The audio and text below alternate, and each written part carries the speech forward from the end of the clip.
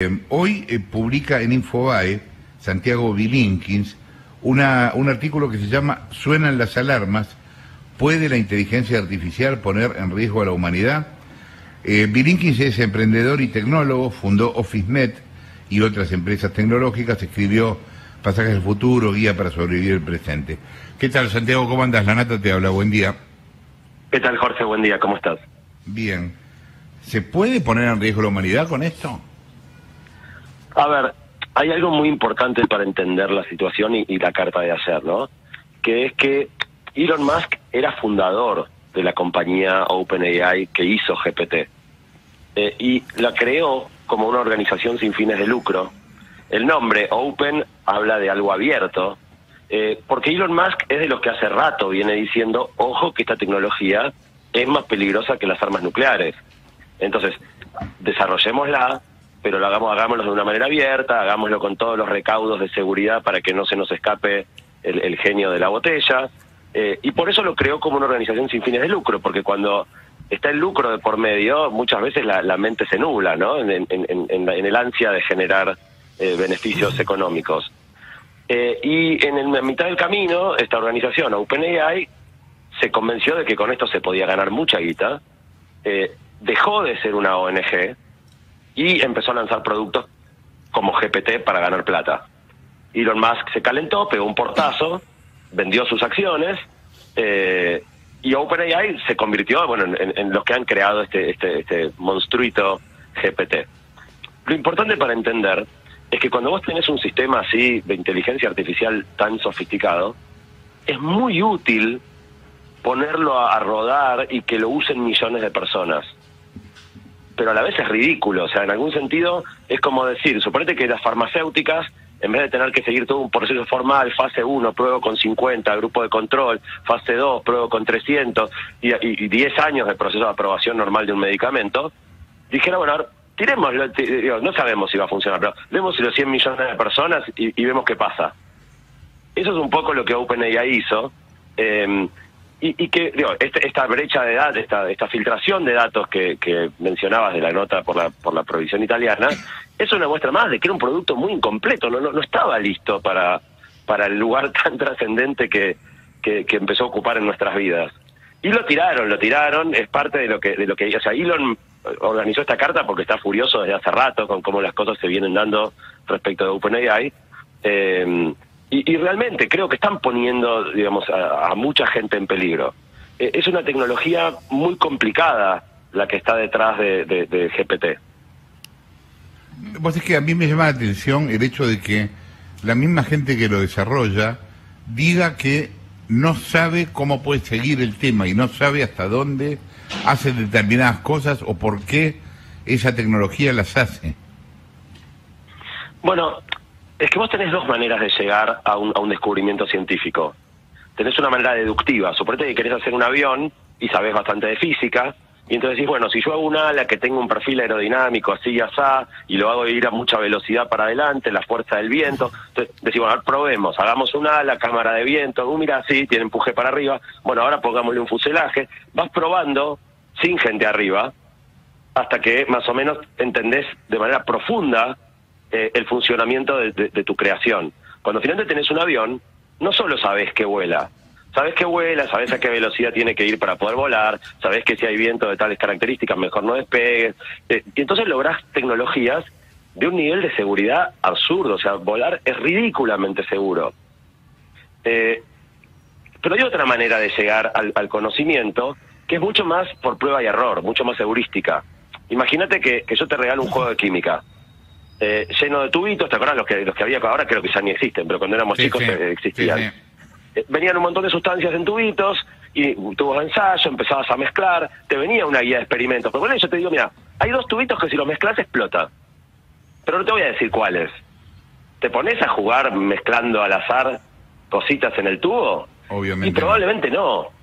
en esto hay mucho de eso. O sea, el, hallazgo de, de, de GPT es el resultado de un experimento muy particular, que es qué pasa si armamos una mega red neuronal, o sea, un, sistema de computación muy particular y muy complejo, eh, y la alimentamos con todo el conocimiento de, todo el texto generado por la humanidad en Internet.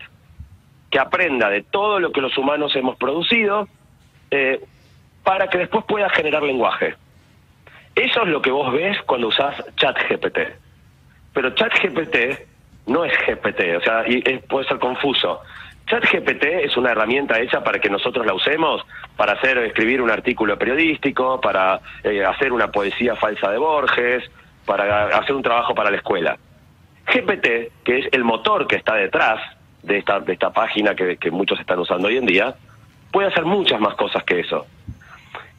Y puede hacer cosas o sea, esto es como si hubieras hecho una máquina que no estás muy seguro si va a funcionar, vas probando cosas y de repente ves que vuela, pero no entendés muy bien por qué vuela, no entendés muy bien si va a poder seguir volando o en qué condiciones de vuelo puede llegar a volar.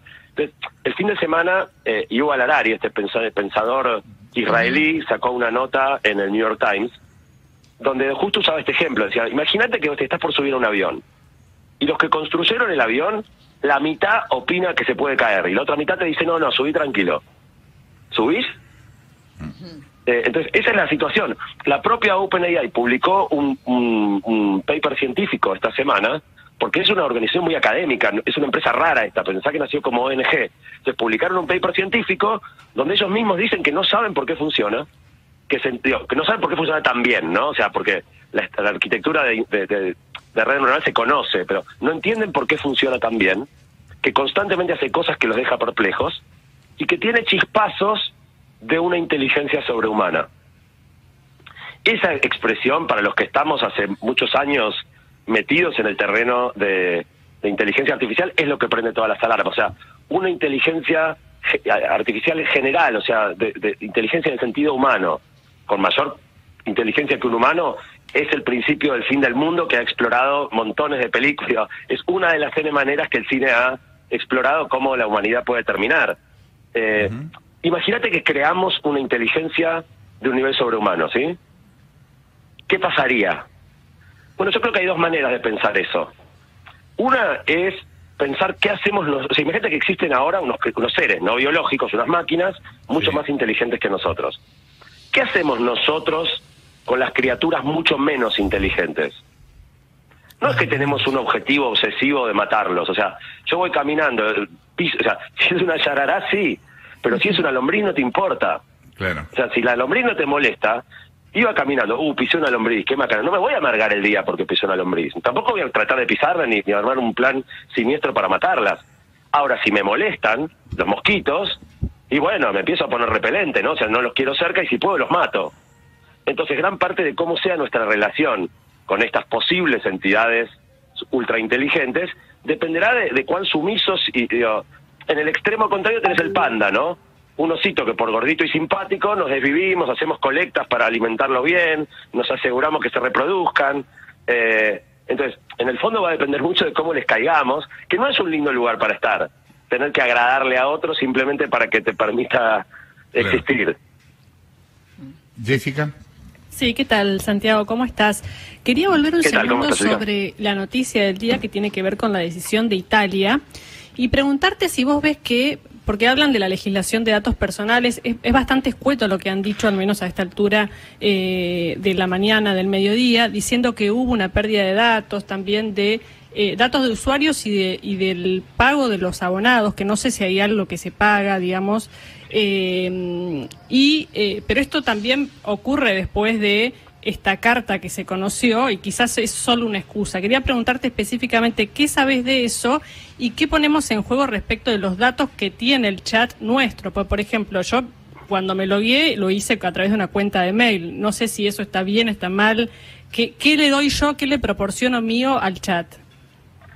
En este momento los usuarios como vos o como yo que usamos chat GPT con una cuenta gratuita no proporcionamos prácticamente nada. O sea, esto no es algo que afecte al 99,9% de las personas que nos estén escuchando en este momento. ¿Y qué pasa si garpas, Santiago? Bueno, hay un grupo muy chiquito de, usuarios pagos eh, que están pagando 20 dólares por mes por utilizar una, una versión que es un poquito más potente que la versión gratuita y aparte tiene más disponibilidad, porque eso está con tanta demanda que se cae constantemente. En cambio, la versión paga se cae un poquito menos. De esa gente, que por ahora es muy poca, se filtró nombre y apellido, mail, los últimos cuatro dígitos de la tarjeta de crédito, pero no la numeración completa y la fecha de vencimiento de la tarjeta. O sea, no es nada grave eh, en sí lo que pasó, sí es una señal de que, de que estamos con una tecnología que todavía está bastante inmadura, siendo expuesta al uso de millones de usuarios. Eh, igual yo creo que hay algo de excusa, o sea, eh, cuando salió ChatGPT, eh, en, en, el hemisferio sur justo coincidió con el receso escolar. Se lanzó el 30 de noviembre del año pasado y terminaban las clases. En el hemisferio norte, que cayó en el medio del año escolar, esto es un terremoto para las escuelas. O sea, cualquier trabajo que le pidas a los chicos o chicas que hagan en su casa, eh, cualquiera lo hacen en 30 segundos y se sacan, un, no sé si un 10, pero un 8, 8 para arriba. Si saben usar bien ChatGPT, se sacan un 10. Entonces, ¿qué, cómo, ¿cómo ajustás el proceso educativo que, que está tan enfocado en, en, en maneras bastante frágiles de medir el conocimiento adquirido? Eh, cuando en realidad uno puede fingir saber cualquier cosa que no sabe. Eh, y, eh, por ejemplo, en el estado de Nueva York lo prohibieron en las escuelas. Entonces esto de Italia no es el primer lugar que decide prohibirlo. O sea, cuando vos te encontrás con algo que no sabes cómo manejar, y lo más fácil es patear la pelota afuera. Eh, que es un poco lo que está haciendo Elon Musk cuando dice pare, o sea, cuando dice paremos seis meses, no es seis meses, es paremos la pelota. Igual, fíjense que Elon dice esto. Elon tal vez tal vez puede lograr que OpenAI pare, que Google, porque Google tiene a Bard que es tan poderosa como, como GPT, solo que por ahora no la lanzó demasiado. Eh, Facebook tiene la suya, que se llama Lambda. Eh, suponete que Elon Musk convence a, Facebook, convence a, Google, convence a OpenAI. ¿Vos pensás que los chinos van a parar?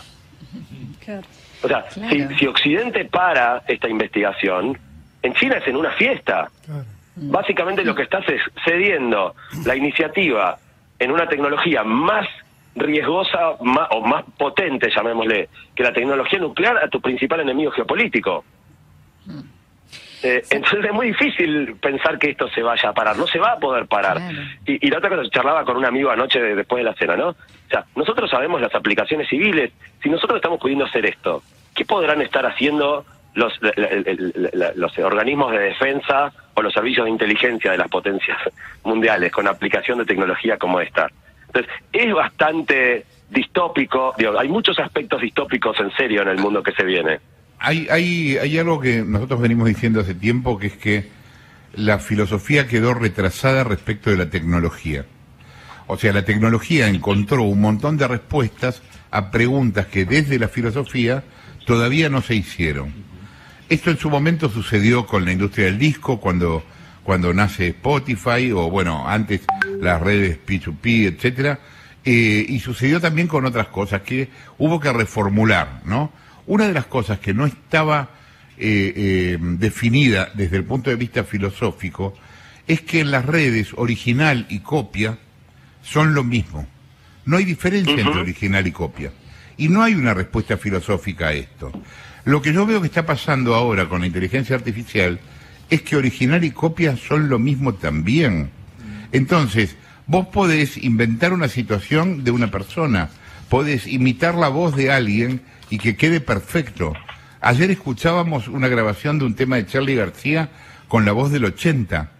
Eh, esto significa que va a haber una realidad que es la que nosotros vivimos y puede tranquilamente meterse adentro de esta realidad una realidad paralela que es indistinguible falsa, de nuestra realidad, ¿me entendés? A ver, parece un juego de palabras, pero falsa pero real, ¿me entendés?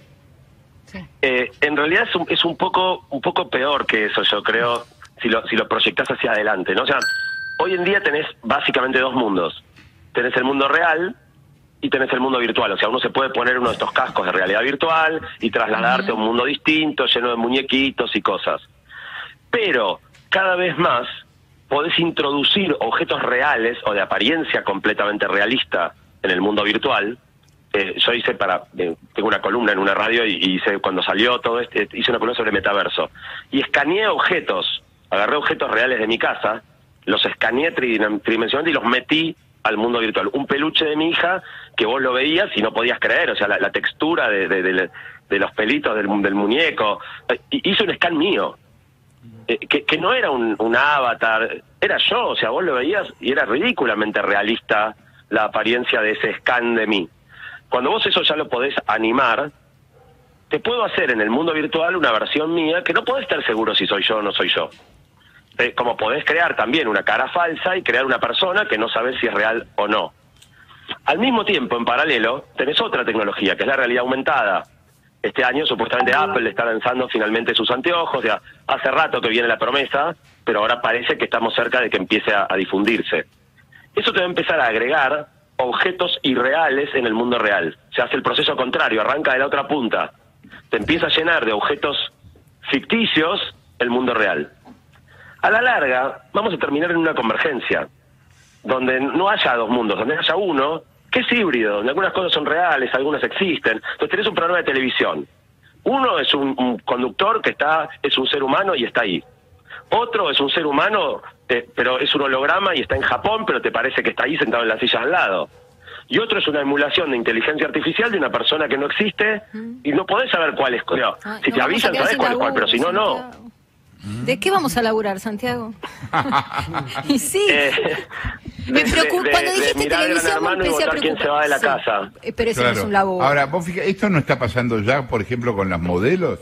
Sí. en algunos avisos comerciales hay modelos virtuales. Sí, o, sea, hoy hay muchas cosas relativamente sencillas que ya se, se pueden, o sea, tecnológicamente hoy todo es posible, pero la mayoría de las cosas son caras, ¿no? Entonces no lo ves usado por todos lados, porque si yo quiero hacer un video falso a una persona eh, realista, con, colonando su voz, se puede hacer, pero pero cuesta bastante eh, eh, esfuerzo, hace, digamos, pero el precio va a bajar. Entonces, mm. hoy, no, hoy no es que no sea posible, es que es caro y entonces lo ves poco. Cuando esto sea trivial, cualquier app del celular te genera un ser humano virtual eh, realista, digo, eh, esto va a proliferar como cualquier cosa cuyo precio cae, se vuelve casi gratis, ¿no? O sea, y es como decías vos, Jorge, en el mundo digital, o sea, lo que hace que original y copia no tenga no, no, no tenga sentido el concepto de original y copia es la digitalización. O sea, en, el digital, si vos, vos tenés un archivo y lo, lo, anexás a un mail y mandás una copia del archivo por mail, no mandaste una copia, mandaste el archivo. O sea, eh, vos de uno haces dos, de dos haces sesenta, no, no, existe el concepto original y copia, es nada que sea digital. Si querés, y ahí me voy un poco por las ramas, pero ese es el famoso secreto de Bitcoin. Porque si vos haces eso con la plata, si yo te doy un billete de mil eh, y al mismo momento que te doy el billete vos lo tenés y yo lo sigo teniendo, eh, eso el, dinero digital no puede no puede funcionar sin original sin, concepto de original y copia o sea o yo lo tengo yo o lo tenés vos si yo te lo di el que y yo digo que lo tengo el mío es falso mm. eso es lo que resolvió Bitcoin con, con blockchain cómo registrar quién tiene el dinero digital en cada momento de manera que no se puedan hacer copias de, dinero, cualquiera que se lo da a otro esté haciendo una copia idéntica. Santiago, ¿cómo estás? Cecilia Bufflet te saluda. Em, sí, Cecilia, ¿cómo estás? Bien, yo creo que te hablé con vos eh, cuando estabas en OfficeNet por primera vez y sos tan defensor de la tecnología que me salta una alarma con tu, con tu preocupación por, por esto. Eh, ahora, ¿por qué eh, en, en esta preocupación por, por la inteligencia artificial es distinto de otras veces y no le estamos teniendo miedo a la innovación y ya, como le tuvimos miedo a Internet, a Wikipedia, a la televisión, a la clonación y demás? A ver, eh, para los que estamos en el mundo de inteligencia artificial, este no es un debate nuevo. O sea, es, un debate que por primera vez, por el golpe en la mesa. Santiago, me muestran acá una cosa que sale en TN Comar que dice: una presentadora de noticias creada con inteligencia artificial es una estrella en la TV china. Esto está pasando ahora. Maldita. Cagamos. Maldita. es que, es que de nuevo, esas cosas tecnológicamente son todas posibles. O sea, es caro nada más. Entonces tenés que tener un buen modelo de negocios atrás para que se justifique el, el, gasto de dinero. Si vos en un país tan grande como China, eh, con, la, con la facturación que pueda generar allá un programa de televisión, crear una persona virtual, ustedes alguna vez habrán hecho un casting encontrar a la persona ideal para hacer un determinado papel, cuando estás limitado a elegir entre un grupo de humanos que hablen en el idioma, ponele que querés, este, estás haciendo el casting de 1985 y decís, bueno, ¿quién va a ser de trasera? Eh, tenés para elegir dentro de un puñado de actores en la Argentina que más o menos dan la edad, que más o menos, no, no vas a poner un español, no vas a poner a alguien que habla en inglés. Entonces, elegís dentro de, por suerte está Darín, pero si no elegís dentro de un pool de opciones bastante acotado. Imagínate que pudieras diseñar un ser para hacerlo, que no existe. La haces trasera. Entonces, en algún tiempo, si querés hacer una, una película eh, de ficción, pero que en el fondo es cuasi documental, no vas a contratar a un actor, vas a emular a la persona. Eso es terrible, perdón, me quedé pensando por lo de China, que la conductora se llama Ren Xiaorong. Es, muy también muy eh, encaja perfecto para el, Partido Comunista Chino digo ahí ya no no tenés manejás ah, este, todo con eso digamos hay una cuestión ya directamente geopolítica ideológica eh, de dominación total que surge con esto. Eh, no, quiero poner, dejarlos excesivamente preocupados, pero no, no, no tengo más remedio. Eh, Cecilia decía antes que, me, escuchaba como muy optimista desde hace muchos años, que, le preocupaba que yo estuviera preocupado. Yo soy una persona poco dogmática y cambio mucho de opinión, porque sigo aprendiendo todo el tiempo, pero sobre todo porque la tecnología es algo que cambia mucho. Entonces, por ejemplo, todo lo que digo, hay una era pre-redes sociales y hay una era post-redes sociales. Mm. El descubrimiento de que vos podés segmentar, o sea, la televisión, la radio existe hace mucho tiempo. Pero todos los que nos están escuchando en este momento están escuchando lo mismo. No podríamos darle un mensaje tecnooptimista a los oyentes de mayores de 32 años que viven en la zona norte y un mensaje tecnopesimista a los usuarios que son hinchas de, huracán. En las mm. redes sociales sí. O sea, TikTok es el ejemplo más acabado de una segmentación individual casi perfecta. Ese es el hallazgo maravilloso y peligrosísimo de TikTok. Entonces, cuando vos podés segmentar el contenido realmente de manera cuasi perfecta, uno a uno, adquirís un poder sobre esa persona, porque el contenido que uno consume puede inducir conductas y puede moldear ideologías. O sea, esto no es nuevo lo que les estoy diciendo. O sea, si querés, es la, es la primera cosa que a mí me hizo volantear fuerte respecto de mi tecnooptimismo cuando empezó todo el tema de que ves a todo el mundo obsesionado con su celular eh, y, me di cuenta que era una trampa, que nos estaban hackeando la atención, eh, porque básicamente podían monetizar nuestro tiempo, entonces nos tenían una trampa para que entreguemos gratuitamente nuestro tiempo a cambio de que nos muestren videos de gatitos, eh, perritos y, personas bailando. y en el medio ellos hacen guita con nuestro tiempo y nosotros que teníamos que laburar o hacer cosas o, o simplemente disfrutar un rato tranquilo con nuestros hijos, estamos cada uno mirando el celu. Entonces, ese fue el primer punto donde, de, quiebre mío, así que fue, fue mi último libro, era sobre eso. Eh, ahora la cosa se sigue poniendo, se va cada vez a terrenos más delicados. Y te decía, Cecilia, tu pregunta de por qué esto no es lo mismo que otras veces. Eh, Stephen Hawking, antes de morirse en el 2014, o sea, ya en ese momento, estoy hablando hace 10 años, cuando la idea de lo que está pasando ahora era una mera conjetura lejana, dijo, ojo que la inteligencia artificial puede ser la última tecnología que inventemos. El tipo no era ningún gil, ¿no? O sea, está claro. En algún momento eh, Bill Gates hizo una advertencia parecida. Eso no pasó respecto de Facebook. O sea, Facebook podemos protestar, sí, qué porquería, cómo nos tienen a todos mirando. Eh, nadie dijo, ojo que Facebook puede terminar con la humanidad. Esto en el círculo de inteligencia es algo que se viene discutiendo hace mucho. Eh, es una tecnología distinta a todas las otras. Igual tiene un montón de, aplicaciones espectaculares y si somos piensen lo que pasó con las bombas nucleares. O sea, el descubrimiento de la tecnología nuclear no solo posibilitó la bomba atómica, también posibilitó centrales nucleares, que podemos discutir si es una buena o una mala manera de producir energía, pero bueno, funcionan y, en algún sentido son más limpias que, que, los eh, combustibles fósiles. Eh, también posibilitó estudios médicos que se hacen con, con eh, reactores nucleares que le salvan la vida a millones de personas.